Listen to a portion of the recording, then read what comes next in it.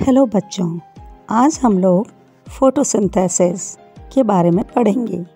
Photosynthesis को हिंदी में प्रकाश संश्लेषण कहते हैं। Photosynthesis is the process by which green plants make their own food प्रकाश संश्लेषण वह क्रिया है जिसके द्वारा हरे पेड़ पौधे अपना भोजन स्वयं बनाते हैं।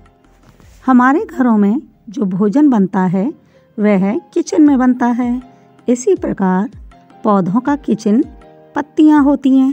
Leaves are the kitchen of plants photosynthesis के लिए प्लांट्स को चार चीज़ों की ज़रूरत होती है। First sunlight second carbon dioxide third water and fourth chlorophyll chlorophyll leaves में ऑलरेडी होता है।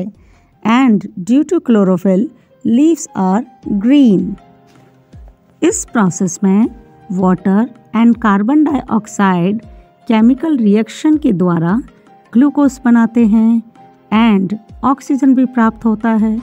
जो ऑक्सीजन फोटोसिंथेसिस में प्राप्त होता है, उसे पौधे रेस्पायरेशन में यूज़ कर लेते हैं। एंड इसकी केमिकल इक्वेशन है six C O two plus six H two O in the presence of chlorophyll and sunlight gives C6H12O6 plus 6O2. 6CO2 means 6 molecules of carbon dioxide. 6H2O means 6 molecules of water. And C6H12O6 means 1 molecule of glucose.